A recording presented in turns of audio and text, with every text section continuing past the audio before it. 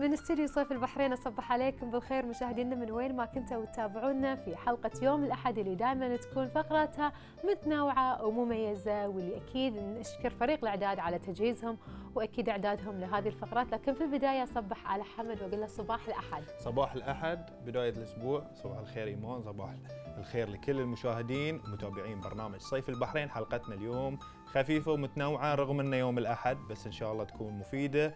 لصباح اليوم. إيمان إيش عندنا الحين نبتدي فقرات؟ نبتدي بالفقرة اللي دائما إحنا نحبها ونبي نكتشف فيها أشياء جديدة اللي هي فقرة غريب عجيب. غريب غريب عجيب. وايد حلوة ذي الفقرة. يعني تحبها صح؟ نتعل... نتعلم فيها شيء جديد نكتشف أشياء ما كنا نعرفها. اليوم في شيء جديد خلي المشاهدين يشوفون. الفقره بعدين نعلق. مشاهدينا خلونا ننتقل حق أولى فقراتنا الأسبوعية وفقراتنا هذه اللي تتكرر بشكل أسبوعي غريب عجيب ونشوف المكان الغريب اللي بيعرفونا عليه فريق الأعداد لهالأسبوع.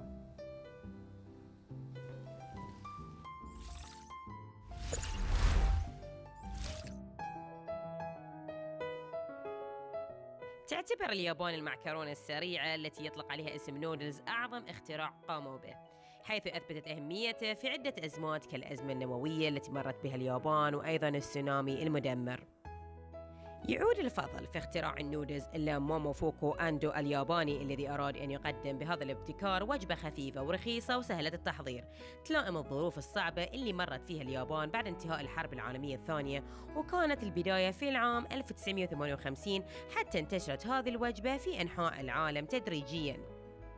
وفي عام 2011 تم إنشاء متحف كأس النودلز بإنتاج شركة نيسين فود في يوكوهاما جنوبي طوكيو باليابان كي يعرض تاريخ صناعة هذا الغذاء وتقديم أنواع مبتكرة منه. فهدف هذا المتحف هو تعريف الأفراد بتاريخ صناعة النودلز الفورية وبإمكانهم صناعة النودلز الخاصة بهم بالنكهات اللي تعجبهم وأيضا يستطيع الشخص تصميم العبوات على الأشكال اللي هم يحبونها. يحتوي المتحف على رفوف تحتوي على جميع أنواع المعكرونة الفورية منذ بدايتها بالإضافة إلى شاشات عرض ويتوفر الشرح الصوتي باللغتين الصينية والإنجليزية.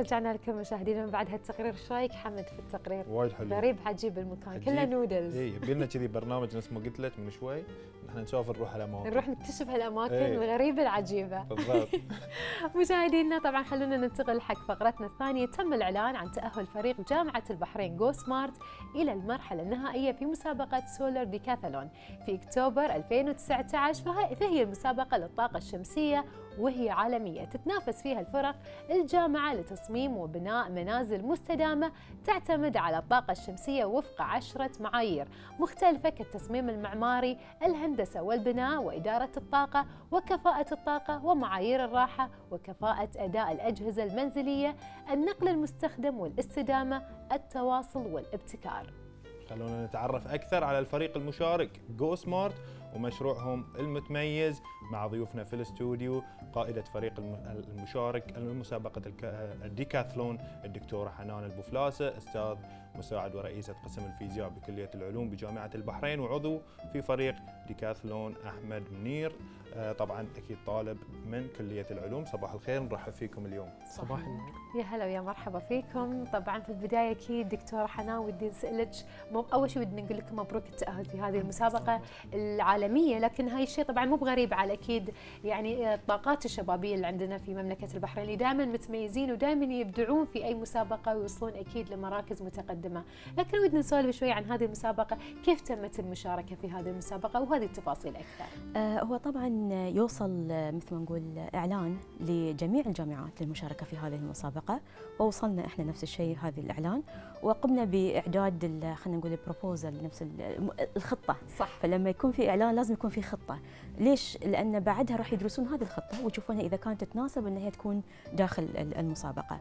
وجهزناه في وقت قياسي جدا. إحنا كان الإعلان الاعلان جاينا في وقت يعني جدا قصير. ضيق قصير وكانت فترة امتحانات وكنا ما عندنا يعني قلنا لا ما نعتقد إحنا نقدر نواصل بس آه، قلنا ليش ناخذ التحدي ونشوف وبالفعل عدينا هذا ال- ال- البرنامج ورفعنا لهم وتأهلنا ما شاء الحمد الله لله. يا. ما شاء الله في رغم هذا الوقت القياسي صح. لكن صحيح. قدرتوا تثبتون يا. أكيد هذه الجدارة والمواهب صح يمكن أحمد أنا أنتقل لك أول شيء هاي فكرة يعني بالنسبة لي أنا أول مرة أسمعها. حتى الاسم يمكن صار لنا أنا وإيمان قبلها بخمس دقائق نحفظ الاسم. فكلمنا عن هاي الفكرة وبدايتكم لهذا المشروع شلون كان. طبعا الفكرة ال- المقدمة لسردكاثون في البداية اللي أهلتنا إلى النهائيات كانت فكرة الاير جاكيت وهي وهي فكرة مستوحاة أساسا من الملقف اللي في البيوت القديمة. طبعا الملقف هو شيء آه، طبعا يكون في يعني مستوى مرتفع من المبنى ياخذ الهواء ويدخله لداخل المبنى بحيث يبرد البيت والبيوت أول تقريبا في الشرق الأوسط ككل كان فيها هاي الملقف فاستوحيتوا هذه الفكرة من يمكن البيوت القديمة من. البادجير إي. بالشكل الاسم يعني إي نعم يعني دكتورة أكيد بدي أسألك عن عدد الفرق المشاركة في هذه المسابقة وهل هي من كليات مختلفة ولا فقط من كلية معينة؟ هو إحنا لو نتكلم عن عدد الفرق اللي تأهلوا مهم. هو طبعا 18 فريق آه، من جميع دول العالم. هي اسمها Solar Decathlon Middle East فهي عندها أكثر من فرع. يعني في فرع خاص بال global في فرع له علاقة بالآسيا وفي فرع له علاقة بأمريكا. فإحنا في ال Middle East. مع ذلك يسمح بوجود فرق من جميع دول العالم. فإحنا 18 جامعة. إن شاء الله نكون نصل إلى النهائيات. ونتأهل على جميع الجامعات بإذن الله الواحد الاحد آه، فيما يخص فريق جامعة البحرين هو فريق واحد. لكن يمثل معظم الكليات في الجامعة. حلو. يعني ما نتكلم نقول مثلا في ناس تعتقد ما دام إحنا قلنا نبي يبنون بيت معناته لازم يكون طلبة معماري أو طلبة وهذه يصير لنا من ندعو الطلبة صح. للمشاركة يقول لا أنا ترى ما أعرف. هو أنت عشان تبني بيت أنت تحتاج معماريين تحتاج آه، هندسة مدنية تحتاج mechanical صح. تحتاج electrical تحتاج scientist كلهم مكملين إيه بعض وغير ذلك نحتاج حتى كليات الأداب. الإعلام ضروري وهذه بتشوفونه في بعض اللي هو المحاور الخاصة بال بهذه المسابقة الإعلام وال awareness وش كثر إحنا ندفع بهذه المسابقة إن إحنا نشجع فكرة اللي هو البيوت المستدامه والبيوت ال smart وهالأمور هذه. فعندنا من فريقنا أعضاء في الإعلام نحتاج ناس في ال business لأن في النهاية كل شيء بنسويه يعني صح. نبني بيت. طبعا. فلازم يكون في أحد في ال business عشان إنه يمسك هاي الموضوع. إحنا حاليا الفريق 38 طالب من جامعة. البحرين ونأمل إنه يكون أكثر. لأن الطلبة هم اللي راح يبنون البيت صح يبنونه. كتب يعني بناء وليس فقط كامل. اي يعني وليس فقط تخطيط لا لما بيروحون يبنونه ويحطونه. وهاي الأمور ذي كلها فتحتاجون أكيد عدد كبير من الأشخاص اللي فاذا فإذا. لحن الباب مفتوح إذا أحد يسمعنا من طلبة وهذه جامعة فرصة حق البحرين يعني. الطلبة يعني نفس ما قال الدكتور إحنا هذه فرصة حق جميع طلبة جامعة البحرين إنه ينضمون لهالمشروع ولهذه المسابقة ولزيادة أكيد عدد الفريق. يمكن أحمد خلينا نتكلم عن تصميم البيت نفسه. آه، كلمني عنه. هو آه، بعد غير إنه هو يمكن يعمل بالطاقة مثل ما آه، يعني موجود الإعداد. كلمني عن موضوع البيت وتصميمه وشلون يشتغل. طبعا تصميم البيت يعتمد على ركيزتين اول ركيزه الاهتمام أو تصميم البيت حسب احتياجات العائلة. وطبعا هاي اول ركيزه ممكن شفنا المنافسين لنا في باقي الفرق ما اهتموا فيها كفاية. كانوا يصممون البيت لشخصين ممكن لأن المساحة كانت صغيرة واحد. واثنين ممكن لأن ما عندهم خلفية كافية عن ثقافة مجتمعنا طبعا الخليجي. آه، التفصيلة الثانية هي تصميم البيت بناء على احتياجات ذوي الهمم. طبعا هاي تفصيلة جدا مهمة لأن نعرف انهم آه، جزء كبير جزء أساسي من المجتمع. صحيح. آه، طبعا إحنا آه، دكتورة استوحت من صرح الميثاق الوطني المنحنى اللي فيه أو الرامب اللي فيه استوحت ramp نصممه في المبنى بحيث ننتقل من الطابق الأول للطابق الثاني. طبعا في تقريبا المبنى حوالي طابقين ونص. آه، فاستوحت من صرح الميثاق الوطني هذا المنحنى. آه، وطبعا فريق الت- التصميم أو ال design وأيضا الفرق الباقية اجتهدوا فيه وعملوا مجهود جبار بحيث يحققون هذا التصميم ويجسدونه على أرض الواقع. وإن شاء الله نكون شغالين عليه. ونحققها أكثر يعني على أرض الواقع بعد سنة. فعليا الله. إن شاء الله. أكيد نتمنى لكم التوفيق في هذه النقطة. يعني دكتورة نفس ما تفضلتي وذكرتي قبل شوي. قلت يمكن كان الوقت جدا ضيق لمشاركتكم في هذه المسابقة. بحكم كان كانوا الطلبة يمرون في فترة امتحانات. لكن أكيد واجهتكم بعض الصعوبات والتحديات الأخرى. شلون قدرتوا تتغلبون عليها للمشاركة في هذه المسابقة؟ هو صراحة بعد ما تأهلنا إحنا هني بدأت تصير علينا الشوك واستوعبنا الحجم الشغل لأن في البداية قال يلا خلينا نشارك مو شرط نحن نتأهل. بس بعدين ما تأهلنا لا قلنا يعني الحين الموضوع صار جد. آه مثل ما ذكر آه آه أحمد إن إحنا حبينا يكون تصميمنا شوي مختلف يكون أكثر يغطي كثير من النقاط لأن كلنا موجودين في بيت وكلنا نعرف شنو المشاكل اللي موجودة في البيت. يعني يمكن أحمد ما ذكر شغلة واحدة إحنا دائما نقولها آه، ونضحك في في الفريق. نقول دائما شو يصير؟ ال- ال- الجمال كله صاير تحت في البيت مثل ما ما شاء الله تبارك الرحمن عندكم ذي المنظر. بس مين اللي يشوف المطبخ؟ اللي ما أدري شنو إيه. الجراج بس اللي بيشوف الطبق الثاني في البيت يشوف شنو؟ يشوف سطح بيت الجيران صح. وهي بتكون غرف النوم وتكون هاي الأمور. فإحنا little bit يعني لعبنا في في هذا الموضوع ال design. وقضية ال ramp هذه بعد يمكن كان في صعوبة على فكرة ال design هذا اللي شفتوه من تصميم طلبة جامعة البحرين. ما شاء الله. الطلبه طلبة ال architects ما قصروا بنوا هذا الشيء يعني حطوا هاي التصميم الحركة ال movement كامل طلبة. إحنا لم ندخل أي شركة إلى الآن. آه ما شاء الله يعني. معنا في التصميم فكله كامل شغل الطلبة فهذه كان إحدى الت- ال- ال- التحديات لأن إحنا نبي نوصل إلى شيء معين وهذه في البناء بيغربلنا شوي يعني. صح يعني مران بهذه إلى الآن إلى اليوم نشتغل. نتكلم في ذا الموضوع إنه يعني ال material اللي بنستخدمها بتأثر من التحديات اللي صارت وهذه مو بس لفريق جامعة البحرين يمكن كل الفرق المشاركة. اللي هو جائحة كورونا. طبعا كان ضروري يكون تواجد وكنا في الفعل لما بدينا كنا نشتغل على ال material. ال material اللي هي خاصة لتصنيع البيت. إحنا لاحظوا إن البيت راح نصنعه ب material خاص إحنا خلاص نفكر- بعد أنتم راح تشتغلون. على هذه نعم. الأشياء الخاصة. اي لازم هو إحنا نفكر. فكنا قاعدين نسوي خلطات معينة حق البيت وصار الموضوع. طبعا كل شيء وقف. صح. فهذه أول. التحديات الموجودة. طبعا بالإضافة إن إحنا تكلمنا مع داعمين. وهي لازم يعني إحنا نتكلم. عن بيت يعني لها مشروع تكلفة. ممكن يستفيد منه المجتمع مستقبلا طبعا يعني إحنا نبي في النهاية هو الهدف عندنا شنو؟ إن البيت أول شيء يبنى في البحرين. وبعدين إحنا نفكك نوديه برا البحرين. برا البحرين. يمكن أنا يعني يمكن قفزت في لا في بالعكس هذه النقطة. لكن لكن ال- الشغلة فهذا هو التحدي.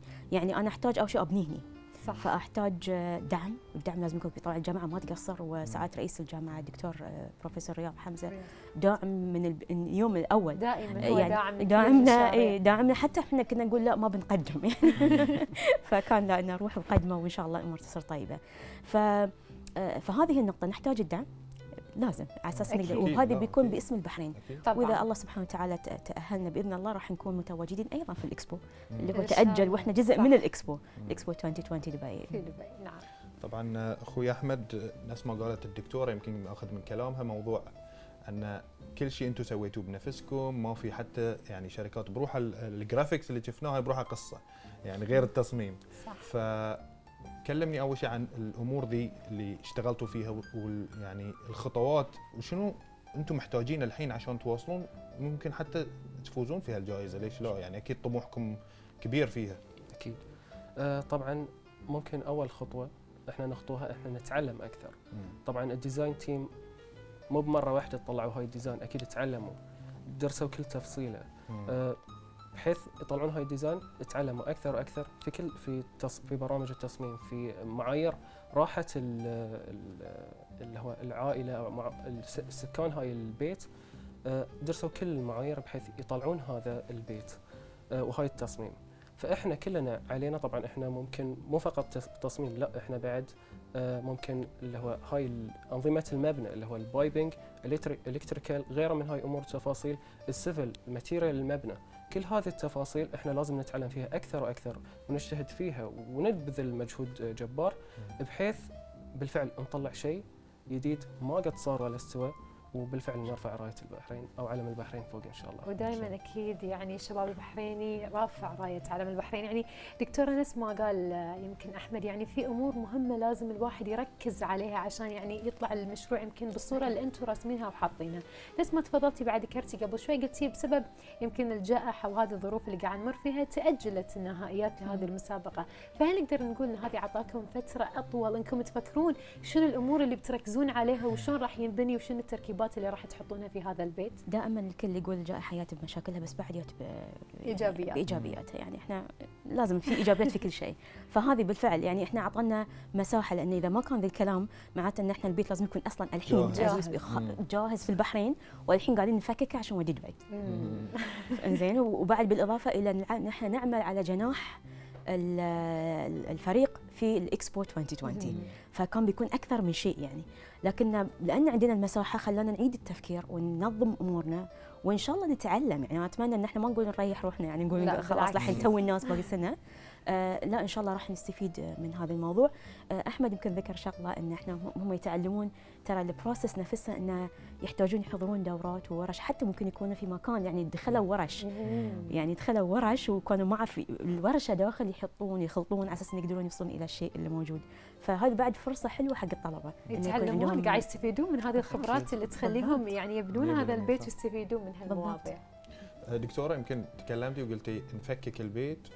ونوديه فشلون هاي راح شلون راح يصير؟ شلون يتم؟ نعم. آه وش قد هاي صعوبه يعني صعوبة التنقل بين يعني انه بيت. أنت تفكر. والمشاهد يقول والله بيت بتشيلونه بتفكرون تودونه هناك فكلمينا عن هذه الخطوات. وهو عشان كذي لأنه هو بيت لازم يتفكك فإحنا لازم لما نبنيه نبنيه على هالأساس. وهذه هي النقطة اللي صايرة عندنا، إحنا قاعدين نشوف جميع الأفكار اللي موجودة، بالإضافة أن إحنا نتكلم عن بيت راح يتم يمكن أربعة خمسة أشهر إيه، موجود بيكون. بمر آه، بعدة عوامل وظروف جوية مختلفة، فلازم نحط في الاعتبار أنه هو يتحمل، يعني ما بقول okay yeah fair enough بنسوي خشب وبنوديه، سهل علينا صح، بالفعل. لازم لا لازم يكون ثابت، والبيت بنعيش فيه وبنستقبل ضيوف فيه وإن شاء الله نستقبلكم فيه إن شاء الله نكون إحنا أكيد هناك. نتشرف. نتمنى انكم تفوزون يعني عادي تبطل بيت أصير جارك يوم. أصير جارك يوم. كذي يعني.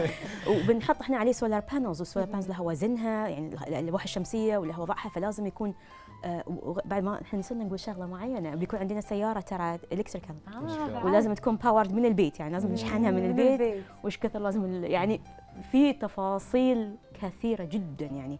فالتنقل بالفعل تفكيك البيت هو هذه الشغلة شوي كبيرة.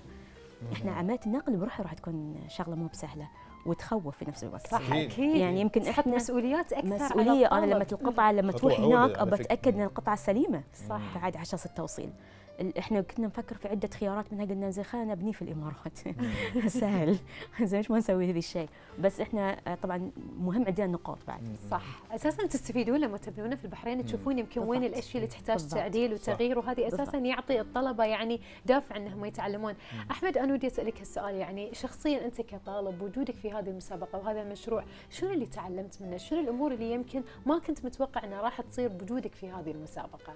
آه، طبعا أنا قبل لا أدش هاي المسابقة كنت متحمس أدش لها لأن كنت. أحب الديزاين كنت أحب تصميم البيوت وكنت أح... واساسا كنت أحب أو ممكن تدريب آه، الجامعة كان في أنظمة المباني تقريبا فلما دخلت آه، هاي المسابقة تعلمت أكثر أكيد في أنظمة المباني تعلمت أكثر في التواصل مع الشركات ومع الأشخاص تعلمت أكثر في ال material ممكن أنا دخلت في عدة أشياء وأكيد تعلمنا أكثر في ممكن الميديا شلون نعلن شلون غيره يعني لأن المسابقة في النهاية يعني تشمل كل شيء كل الجوانب أكيد أكيد. يعني أكيد إحنا سعدنا صح يعطيكم في العافية. صراحة موضوع بالنسبة لنا شيق وجديد ونحب ويوم الأحد بعد إيه. الله يوفقكم إن شاء الله الله يوفقكم وأكيد فعلاً. يعني نتمنى لكم حتى الفوز في المسابقة إن شاء الله وهذا الشيء أكيد دايماً أكيد ممكن انه الشبابية. باكر نشوفه على الواقع يعني مستقبلا إن هاي البيوت تكون بيوت موجودة يعني على أكيد الواقع، على ارض. الواقع.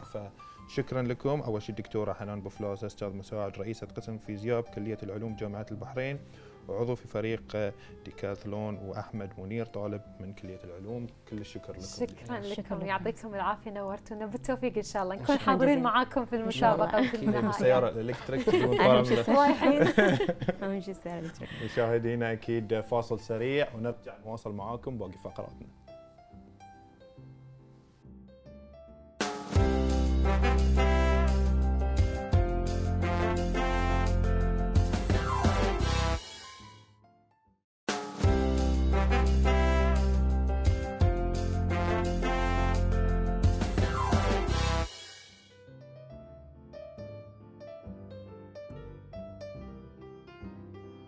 لكم مشاهدينا من بعد الفاصل كلنا ننجذب للروائح العطرية ولكل واحد فينا ذوقه الخاص.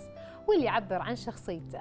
وفي فقرتنا اليوم راح نتكلم مع شاب بحريني متمكن من صناعة العطور عادل العراري صبحك الله بالخير. يا هلا ويا مرحبا فيك. صباح الروائح الجميلة. صباح الخير. في البداية آه، طبعا عندنا فضول إحنا آه، يعني شغفك في هذا الشيء وشلون بدأ مشوارك فيه؟ آه، المشوار بدأ طبعا من قسمين. قسم كان من الطفولة وقسم بالنشأة الحالية. الطفولة أو الصغر كان الوالد متميز باقتناء العطور يعني بشكل مختلف. دائما آه، يغير العطور يعني ما يكون العطر آه، خاص إيه. واحد. اي ما يكون العطر خاص مثلا لطول العمر. لا فصارت عندي الحاسيه العطرية يعني إنه بشكل مستمر آه، في تغيير فأقدر أميز الروائح. بالنسبة للنشأة الحالية قبل خمس سنوات تقريبا قررت إني أفتح لي محل في صناعة العطور وسافرت لدول الخليج يعني في آه، أسواق الجملة للعطور وشفت في النهاية قررت إني يعني قلت لازم إني خلاص. اصمم العطر هذه ودخلت دوره واخذت عليها شهادة طبعا. جميل. يعني خلينا نقول كانت هواية وطورت هذه الهواية صحيح. لين ما صارت أكيد على أرض الواقع بحيث إنها تعتمد عليها كشغله اساسيه، يعني عاد اليوم لو بنتكلم عن أول عطر سويته يمكن وشلون شلون ركبت هذه التركيبات المختلفة بالنسبة حق الروائح وشنو الريحة اللي كانت دائما مميزة عندك بالنسبة حق أول عطر؟ هي في الحقيقة هي عدة تجارب. لين ما وصلت لعطر من العطور يعني اسمه أوبيولنت. آه، شفت يعني ردة فعل الناس. يعني كنت استخدمه لمدة شهرين بروحي. فبعدها استحسن ال- الناس استحسنت الريحة يعني. فقلت يعني إنه هاي إنه يضرب التوب. ومن بعدها صار إنه عطر يجر عطر. آه، وصار في إقبال على أول عطر سويته؟ إيه يعني الحمد صار لله. طلب يعني عليه بشيء بشكل واسع. بكثره اي نعم عادل ممكن لما نسمع إن أنت سويت العطر ويعني ممكن إن هاي الشيء يعني بيدك سويته. فكلمني عن الصعوبة اللي المفروض تاخذها عشان تسوي هاي والمواد اللي مستخدمة ومن وين تجيب ال- الخام عشان أنت تصنع ال- ال- العطر نفسه. هي صناعة العطور تحتاج إلى مواد أولية من الكحول. شلون تعرف أول شيء تقتني الزجاجة؟ ذات جودة يعني تكون. صح.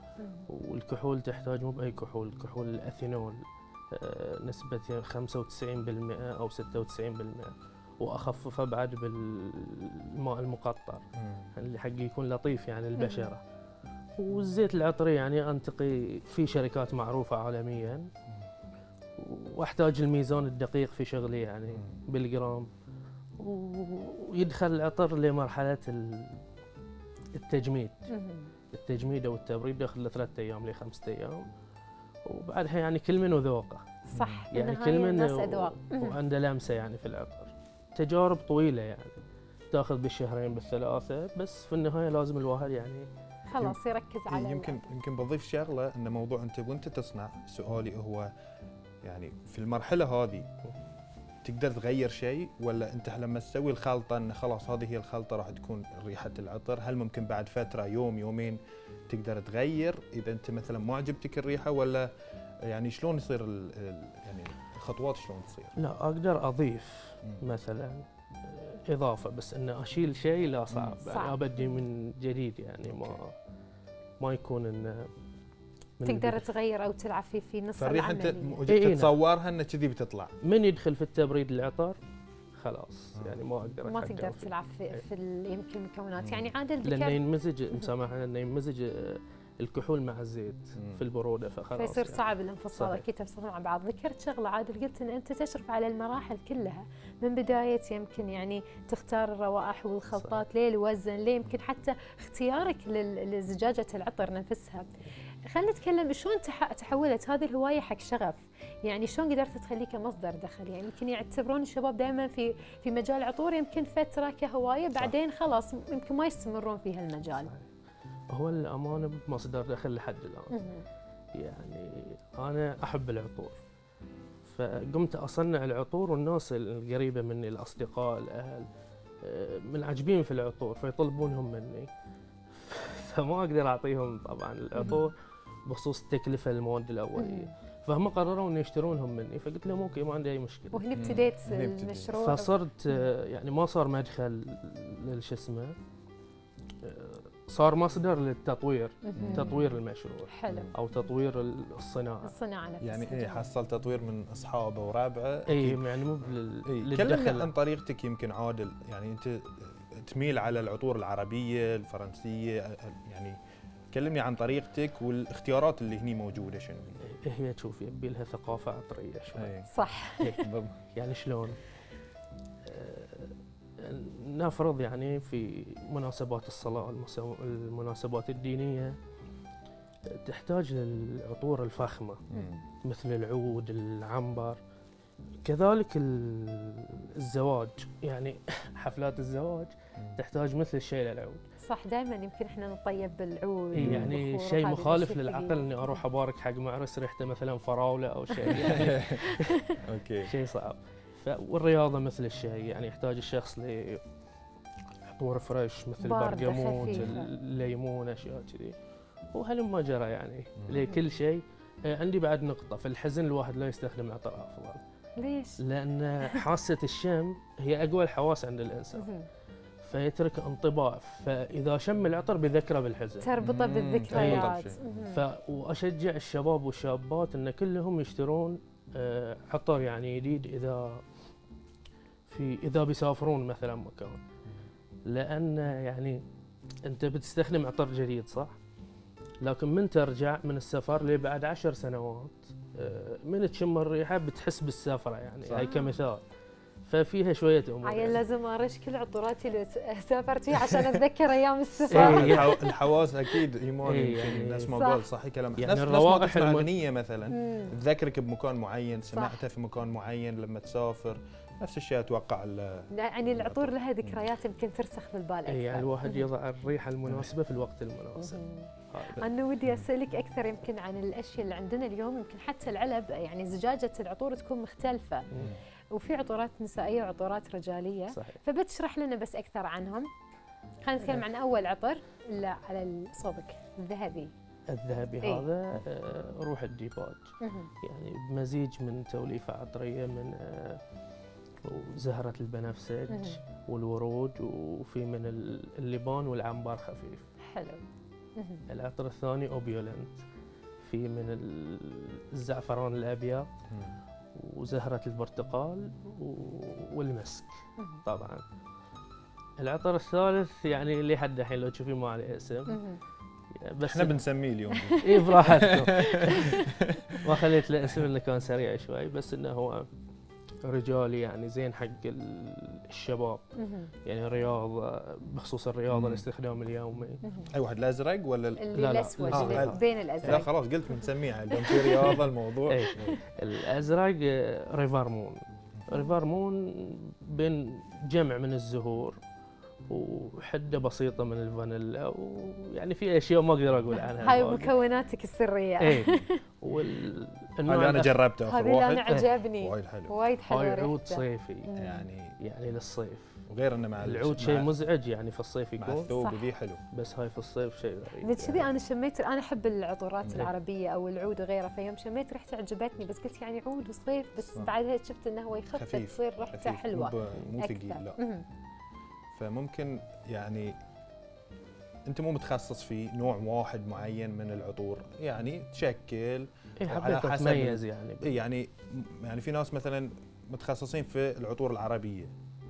نفس ما قلت أنت بعضهم يعني متخصصين في الصيف. أنت تتواكب وتجرب وتحاول تنوع صح؟ صحيح. يعني هو الصيف آه، يحتاج لك مثل الأشياء الفريش. لكن ما يخالف إذا أنا عندي مناسبة في الصيف. وفي مكان بارد يعني إني استخدم عطور الشتاء. صح. ومثل الشيء في الشتاء أقدر استخدم عطور الصيف بتعطيني أداء وفوحان جميل جدا يعني. فيعتمد ف- في إيه النهاية يعتمد. قلت لك يعني المكان الريحة المناسبة في الوقت المناسب هي أفضل أنا. ودي أسألك أكثر عن هذه الغرشة عجبتني من ساعة تشوفها. عندك إيه. من يعني عندك أكثر يمكن من صنف ونوع. هذه هو مو عطر طبعا يعتبر هذا مرش. مرش لل... للبيت للأثاث. للستاير. وهل في إقبال عليه؟ هذا ما بعته للحين. ليه هاي حصري يعني عندنا. أول ناس تشمونه من حصري. عندنا في صيف البحرين. بس حلوة ريحته خفيفة يعني. حق البيت تحس إنه فيها ريحة شي ريحة باردة شوية على الفواكه أكثر. اي نعم. يمكن عادل بما إن أنت مشروع تعتبر يعني بحريني 100% شلون تشوف ردة فعل الناس؟ آه، يمكن دعمهم لك شلون تشوفه؟ وأكيد استغلالك بعد للسوشيال ميديا أكيد فادك في هذا الشيء. كلمني عنه. للأمانة يعني حصلت دعم من ناس يعني ما تتصور أي كثر.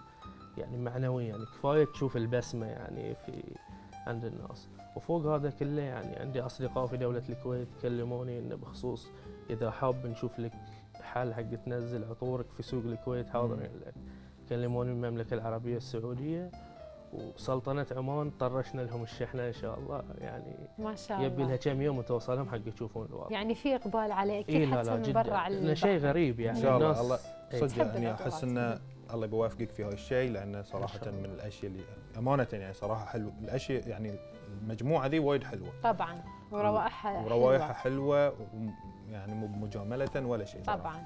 أكيد نشكر تواجدك حضورك معنا. عادل يعني عادل. عرادي نورتنا اليوم وخليت الاستديو ريحته حلوة خفيفة يمكن إحنا. رشنا شوي على إيه. أثاث أثاث الاستديو يعني فأكيد نشكر تواجدك ونتمنى لك كل التوفيق إن شاء الله. بنسميه هذه ترى biceps triceps بنشوف. تحب الرياضة أنت. بنشوف يعني إيش بنسميه بنشوف. أما الحين مشاهدينا خلونا ننتقل إلى مدربنا الرياضي خالد البستي ونتعرف على تمارين يوم الأحد معاه في هذا التقرير. صبحكم الله بالخير. اليوم بنحتاج يا box نفس هال boxات اللي حاليا وايد ناس عندهم في البيت. ما عندك box لا تحاتي تشوف لك كرسي ارتفاعه زين عشان تسوي وياي تمارين تقوية اليوم. بنسوي تمرين حق الريل تمرين حق ال core وتمرين حق ال triceps. بنسوي 15 تكرار حق كل تمرين. الراحة بينهم بيكون من كل تمرين 30 ثانية. أو دقيقة خلينا نقول. من تخلص جولة كاملة ريح لك دقيقتين على أساس تسوي recovery عدل ترتاح وترد بنفس الطاقة تقريبا على أساس تعطي نفس اللي أعطيته في الجولة القبلية. هدفنا تقوية الآن. التمرين الأولي يسمونه Bulgarian squats كرسي عندك أو ال box. safety first اولا سلام. position ريلك فوق طريقة عادلة تعال قدام شوي. بتنزل لي squat كنا بريل واحدة okay؟ وتضغط على الريل اللي فوق على الكرسي أو على ال box على أساس تحصل ال balance مالك. فبنزل 1 2 3 4 five, six, seven, eight. لو حركة أنا بس ريل لقدام قاعد أحرك بس الركبة. Eight. كعب على الأرض. Nine. Ten. 12 ل 15 11 12 أغير الجهة. دائما تشوف ورا. حط ريلك عدل ما نبي أحد يتعور. safety first okay. الحين احرك ركبتي. بس. واحد. اثنين. ثلاث. أربعة. ظهر سيدة. صدري فوق. ست. سبع. ثمان. تسع. عشر. 11 12 خلصت 30 ثانية بتريح؟ ما بتريح كيفك؟ بقعد على البوكس. أجي قدام. أرفع أصابعي فوق الأرض الكعب على الأرض. بنزل. range of motion الحركة. أنزل. 1 شوف أنزل لوين؟ واحد. اثنين. ثلاث. أربع. خمس خليك قريب من الكرسي أو ال box. سبع ثمان تسع triceps عشر 11 12 13 14 15 خلصت. 12 ل 15 بريح 30 ثانية أريح. ما بريح أروح على طول حق التمرين الثالث. الأخيري. اياود ال box من الأطراف. ارد واقول سلامتك اولا أنت في البيت. يمكن وياك أحد. ما عنده أسعافات أولية. فاهتم في نفسك اولا. ايود نفس ما أحب نفسي أكل كل شيء. أحب نفسي وأحاسب. اتمرن okay حلو. امد يسوون reverse crunch. واحد. اثنين. اميل ورا ثلاث. أربع. اللي أسوي أنا أجيب ركبتي صوب صدري.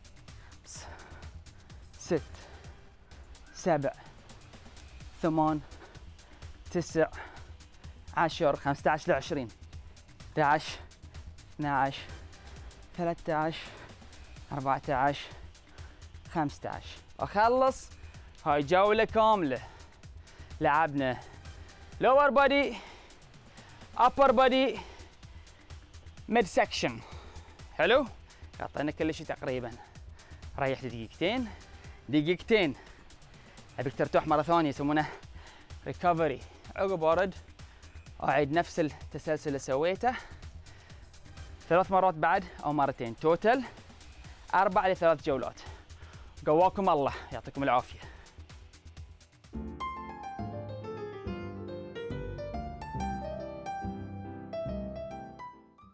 أكيد نشكر المدرب خالد البسيقي على هذا التمارين وهو قال لكم بس دقيقتين تأخذون راحة وترجعون تكملون التمرين دقيقتين مو أكثر حق اللي يمكن يتهاونون في موضوع الرياضة. مشاهدينا مثل ما نعرف إن مرحلة التسنين من أصعب المراحل اللي ممكن تمر فيها أي أم أو أي طفل. بسبب الألم اللي يتعرض له الطفل وقلة النوم. وايد من الناس ما عندهم خلفية عن أعراض التسنين الحقيقية وكيفية الاعتناء في أسنان الطفل لأول مرة. اليوم راح تكون معنا أخصائية في طب الأسنان وأسنان الطفل الدكتورة إقبال إسماعيل. صبحك الله بالخير يا هلا ويا مرحبا فيك؟ صباحكم يا هلا. وصباحك يا هلا. صباح الخير دكتورة. في البداية يمكن نبي نعرف مرحلة التسنين شلون تكون ويمكن الأعراض اللي تطلع على الطفل في هذه المرحلة. صباح الخير اولا. آه، بالنسبة لمرحلة التسنين آه، أهميتها تكمن أنه تبدأ في مرحلة الطفل بيكون فيها غير قادر على التعبير بالكلام.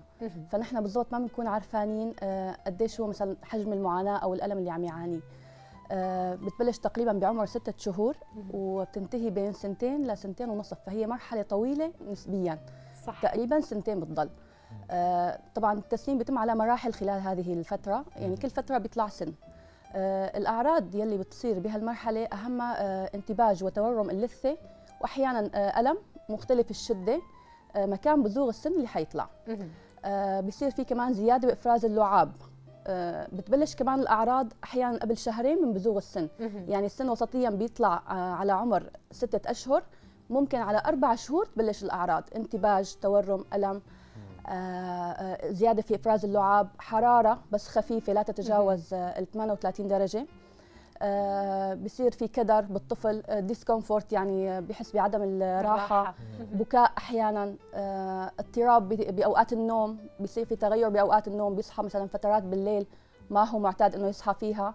هي الأعراض العامة. أحيانا بيقولوا بيفرك بيفرك اذنه أو بيحك اذنه الطفل.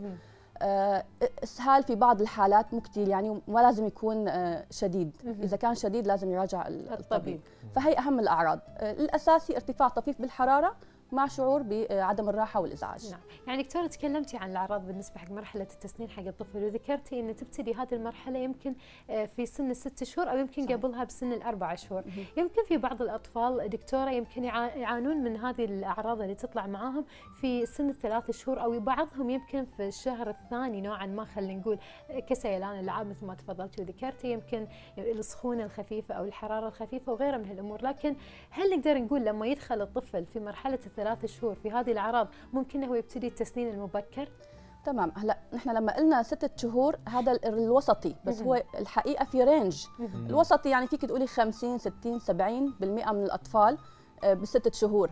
أما ال range ببلش آه، آه، في أطفال بيخلقوا في بتمهم أسنان بيخلقوا من لحظة الولادة في. سن بنسميه السن الولادي طبعا هذا يعني حالات نادرة بس هي موجودة, موجودة. مذكورة. ومسجلة في أطفال على الشهرين ثلاثة أربعة ممكن يطلع السن هذا بنسميه بزوغ مبكر. آه، ال- الوسطي ستة شهور في أطفال ممكن يصير عمره سنة 12 مانث وما في أي سن. ما في أي سن. كله غالبا بتكون أسباب طبيعية وعادية أو آه، ممكن وراثية من الأهل. آه، وممكن ما يكون في أي شيء عادي فما في أي أي سبب يستدعي القلق يعني, يعني عادة. يكون في تفاوت من طفل طبعا إلى آخر طبعا. لعمر. من من الولادة لعمر السنة عادي. الوسطي ستة شهور. طبعا دكتورة في معلومات متداولة مثل مثلا آه، الرضاعة الليلية تسبب التسوس أو المصاصة تعتبر مضرة للطفل. كلميني عن هذه هل هاي صحيحة أو لا؟ آه هلا بالنسبة للرضاعة الليلية طبعا الحليب بشكل عام هو مفيد للطفل وبيعتمد عليه آه لحاله بدون أي إضافات غذائية لمرحلة تقريبا بين أربعة لستة شهور لحتى نبلش نعطي إضافات غذائية فالحليب مفيد تمام؟ اجمالا. ولكن اعطائه بطريقة خاطئة اللي هي تعطيه فترات طويلة. وخاصة أثناء الليل بيؤدي فعلا إلى تسوس أسنان. آه لأنه الحليب بيحتوي على آه كميات من السكر. فهذا السكر لما يضل على تماس مع الأسنان فترات طويلة. فبيعمل آه ذوبان في الكالسيوم الموجود في الأسنان. فطبعا يختلف هذا الذوبان حسب قوة أسنان الطفل. ممكن يكون تسوس بسيط وممكن يوصل لمرحلة إنه الأس- السن كامل يذوب. فالمفروض الأم ما تعطي الحليب فترات طويلة سواء كان حليب صناعي أو الحليب الطبيعي. same اثنيناتهم نفس الشيء بيعملوا تسوس. المفروض بعد آه، الرضعة تكون لها مدة محددة آه، عشر دقائق مثلا. بعدها تعطيه شوية مي إذا في إمكانية تنظف ال- الأسنان الموجودة بفم الطفل. وبس stop وبالليل خلاص مثلا بياخذ رضعته بيوقف ساعتين minimum للرضعة اللي بعدها. ما يضل الحليب أو المرضعة بفمه فترات طويلة. يعني دكتور يمكن آه، أغلب الأعراض اللي تطلع على الطفل تسبب توتر حق الأم تقعد تحاتي يمكن تخاف آه، ما تنام الليل والطفل أيضا ما ينام. فشنو أفضل الأمور أو الحلول لتخفيف الألم عند الطفل؟ هلا طبعا الأم آه، والأهل بشكل عام بيتوتروا بسبب هالموضوع. يتوتر. صحيح. لأنه إيه؟ حتى الأبو والله إيه، ما. نسيناكم. طبعا إيه. نتيجة الأعراض يعني آه، الله يعطيكم العافية. طبعا الأمهات والآباء إي والله. آه الأعراض طبعا هي مقلقة ولأنه الطفل غير قادر على التعبير فهن ما بيكونوا قادرين يستشفوا هل الطفل مرتاح ولا لا مزعوج الألم كيف شدته ما بيكونوا فبيكونوا متوترين. هلا بالنسبة للأشياء اللي بتخفف آه آلام التسنين آه مبدئيا آه، آه، بدك تريح الطفل تحاول تشتت انتباهه. تلعبه قدر الإمكان لما يكون متوتر ومزعوج طلعه برا تلعبه بالألعاب. يعني نحاول ما نلجأ للطرق الدوائية إلا في النهاية. في النهاية لما يكون استنفذنا أخيرية. إيه. تمام. أو نل- نلجأ لها لما يكون يشتد الوضع. بنحاول لما يكون الوضع خفيف إنه نهدي الطفل نلعبه. ممكن آه، بإصبع نظيف نحاول نضغط على اللثة نعمل لها مساج مساج خفيف مكان ما عم يبزغ السن. الضغط الخفيف بيريح شوي. نضحك الطفل نلعبه هاي القصص. آه، لاحقا ممكن نحط مثلا إذا اضطرينا teething gel مع إنه هذا آه، يحذر منه حاليا من قبل ال FDA اللي هي Food and Drug Administration لأنه في بعض التركيبات تحتوي على مواد لها آه، أعراض جانبية ممكن جانبية. تكون سيئة. في هلأ صيغ جديدة عم يعملوها آه، المحتوى تبعها hyaluronic acid آه، مقبولة حاليا. أما الصيغ القديمة ما هي مقبولة. فأنت قبل ما تستخدم ال teething gel نوصي الاهل آه، إنه يستشيروا الطبيب. دائما استشاره الطبيب مهمة. في وصفات بتلتقى على النت آه، بتنباع بدون وصفة طبية آه، علاجات يعني. يفضل عدم استخدامها لأنه آه، ما بنعرف ال safety تبعها آه، صح. وحتى ال efficacy الفعالية تبعها هل هي فعالة أو لا ما عليها أي دراسات. فيفضل نستشير الطبيب بهالموضوع قبل ما نستخدم آه، شيء من عنا. فهي أهم شيء بالنسبة للعلاجات. دكتورة قلتي إن ال teething gel ممكن إنه يكون يعني يعني مو مو بالفعال حق حق هذا الشيء. لكن في ناس لليوم يستخدمون مثلا آه، يعني أمور يعني شعبية أو قديمة مثل العسل والبص والبصل الأخضر. يعني إذا هذه ال teething gel لازم لا يكون له وصفة. صحيح. وهذه شو- شو- شنو وضعها؟ صحيح. حتى العسل. ساعات يلجؤون حق اشياء آه، طبعا. هلأ هو أحيانا الأهل في عندهم آه، أفكار موروثة تمام؟ بس هلا مو مو كل مو كل موروث صحيح. صح. آه، الطفل already نحن حنحكي عن الشيء الطبيعي الوجبات الطبيعية تدخل عليه بالتدريج. على الأربع شهور ممكن نعطي شيء معين على ستة أشياء معينة على التسعة على السنة. فإحنا حتى الأشياء الطبيعية ممكن جسم الطفل ما هو زي. جسم الب- البالغ أو الطفل الكبير. فأول سنة من العمر بدنا نكون حذرين جدا نعطيه أي شيء للطفل ممكن يأثر عليه يعمل له أعراض تحسسية ممكن. حتى الغذاء الطبيعي. فحتى الأغذية المعدة أحيانا ما تتقبل. آه، حتى لو طعام طبيعي. مشان هيك نحن بنحكي ال teething gel نعطيه بحذر لأنه في تركيب مواد كيميائية ممكن تأثر على الطفل. already الطفل آه، ال teething gel حيبلعه. صح. يعني إنت ما عم تعطي لعبة أو. شيء إنت عم. تعطي منتج حيدخل إلى معدة الطفل. فلازم نكون حذرين جدا سواء كانت آه، أشياء طبيعية أو آه، مواد دوائية صيدلانية. عشان كذي إحنا دائما نركز دكتورة لازم يكون في استشارة من الطبيب يعني حق الطبيب عشان لأن الطبيب راح يوصي بالأشياء اللي تكون مفيدة يمكن حق الطفل أكثر. لأن إحنا إيمان يعني أوه فلانة قالت كذي كذي حطوا له كذي. دائما نسمع. كذي. فلان كذي كذي قالت لا كم قالت الأقاويل هذه. اللي بس تصير. حطوا بس يمكن بلع 50 شيء والياهل صحيح. يمكن بالذات حق حمد التجارب يعني. الرسائل اللي توصل بالواتساب اللي دائما يكون ما لها إيه، صحة يعني صحيح. في هالموضوع. يعني دكتورة يمكن عن ظهور أول سن للطفل آه، شلون الأم لازم تعتني فيه؟ ومتى لازم تكون أول زيارة لطبيب الأسنان للطفل مع ظهور أول سن له؟ آه، مع ظهور أول سن نبدأ لازم التنظيف يبدأ تنظيف الأسنان وتفريشها مع ظهور أول سن.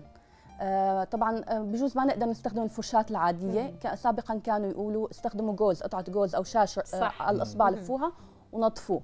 لازم نعود الطفل إنه التفريش أو تنظيف السن يكون من روتينه اليومي. يعني كيف الأكل الشرب الاستحمام هاي الأشياء. نفس الشيء التفريش لازم يتعود عليه مع بزوغ أول سن. كل ما بزغ سن نحاول ننظفه. حاليا صار في آه، فراشي صغيرة جدا رؤوسها ناعمة. حتى في هيك أشياء على النت بتكون بتنحط بالإصبع. فرشاة لدنه طرية جدا آه، بتتركب على الإصبع وبتسهل التحكم بالتفريش فلازم يتم التفريش مع بزوغ أول سن ويتعود الطفل عليه.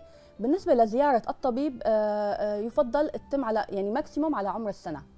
آه، طبعا ما حيكون في أي علاج بهالمرحلة بس بيكون صح. في توعية حول موضوع التنظيف. العادات الغذائية الفواصل بين الوجبات. ومشان الطفل يتآلف مع جو العيادة السنية ويتعود عليه وكل فترة ستة شهور بيكون في تكرار للزياره بهدف إنه الطبيب يطلع على المستجدات وينصح الأهل بالنصائح الواجبة حسب كل مرحلة. جميل. دكتور أكيد في طريقة يمكن تكلمت عن شلون اختيار الفرشاة لكن طريقة التفريش يمكن هل في طريقة معينة حق طبعا آه، الطفل؟ التفريش بيتم بحركات دائرية بسيطة حتى عند الأطفال الصغار. آه، بالبداية حيكون التحكم صعب بالنسبة للأهل بس نحن الهدف هو تعويض الطفل كبداية. حيكون في رفض من الطفل بأول مرحلة بس لما يصير جزء من روتينه اليومي حيتقبل شوي شوي. آه، أثناء التفريش المفروض هيك نلعب الطفل نضحكه خاص إذا كان رافض. نحاول نعملها على شكل لعبة آه، يحاول الأب مثلا آه، لما الأم عم تحاول تفرش السن يحاول هو يفرش كمان يعمل توقيت التفريش الأهل يعملوا نفس توقيت التفريش اللي بفرشوا فيه بيفرشوا كمان للطفل. فبصير الموضوع عائلي الطفل شوي شوي بيتقبل الموضوع. آه، كل ما تقبل أكثر بيصير التحكم أكثر يعني بنصير نحن نقدر نفرش بطريقة أفضل. آه، فهي هي أهم شيء بالنسبة للتفريش. يعني هاي بالنسبة أكيد حق يمكن الف... طريقة التفريش بالنسبة حق الطفل فأكيد نشكر تواجدك وحضورك معنا الله إسماعيل يسلمك أخصائية طب أسنان الأطفال. فعلا بهذه النصائح اللي تكون صح. مهمة, جا... مهمة. دائما وجدا حق أولياء الأمور. شكرا لك. الله يسلمك يا لك رب. الله دكتوره يحفظكم اليوم. أهلا وسهلا. مشاهدينا تحت رعاية الشيخ هشام بن عبد الرحمن بن محمد آل خليفة محافظ محافظة العاصمة أقيم تخرج الفوج الخامس لمدرسة الإبداع الخاصة لمرحلتين المرحلة الثانوية والمرحلة التمهيدية. تفاصيل أكثر نتابعها في التقرير التالي.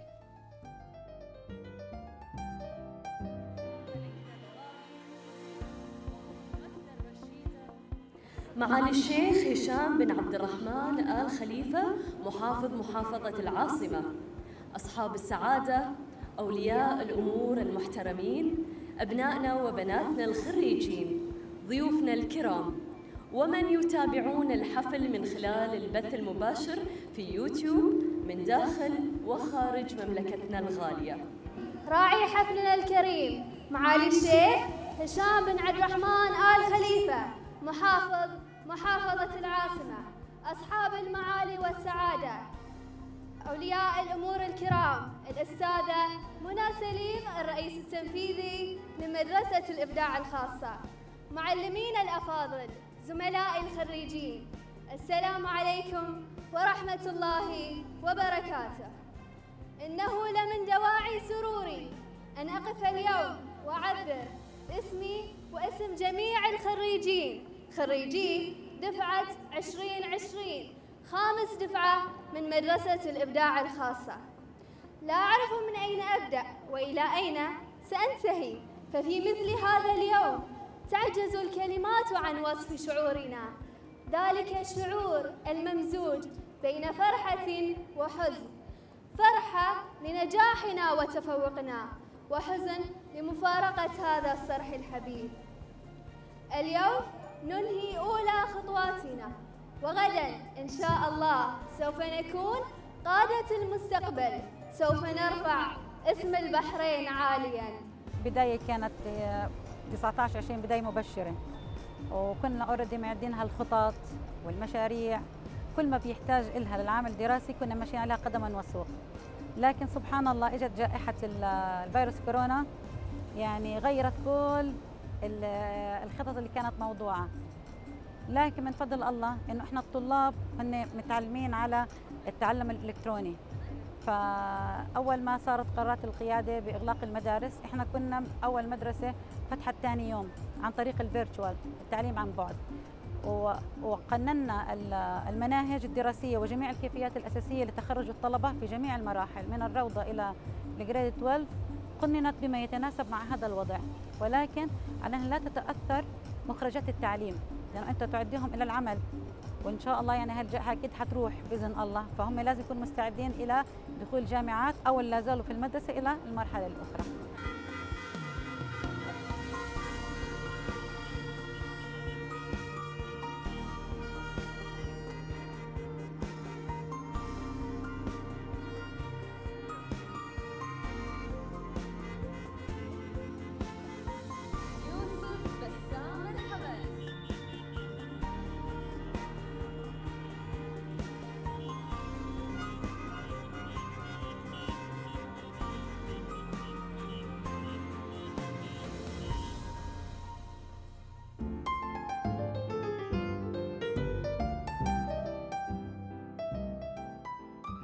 أكيد مبارك لجميع الطلبة اللي تخرجوا في هذا العام يعني نتمنى لكم كل التوفيق إن شاء الله وإن شاء الله يعني عقبال المستقبل ونشوفكم في أعلى المناصب يا رب يعني حمد لو بسألك شنو أكثر اللحظات اللي تذكرها أيام حفلة التخرج؟